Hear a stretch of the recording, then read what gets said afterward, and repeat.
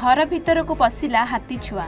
ଏଭଳି ଏକ ଘଟଣା ଘଟିଛି କେନ୍ଦୁଝର ଜିଲ୍ଲା ଟସଦର ରେଞ୍ଜ ପଳାଶପଙ୍ଗା ନିକଟ ଜଗଦଳା ଡ୍ୟାମ୍ ନିକଟରେ।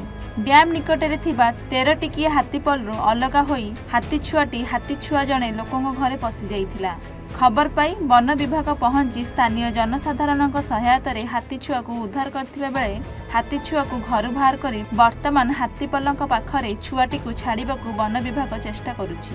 କେନ୍ଦୁଝରରୁ କାମିନୀକାନ୍ତ ଦ୍ୱିବେଦୀଙ୍କ ରିପୋର୍ଟ ଏ ୱାନ୍ ଓଡ଼ିଶା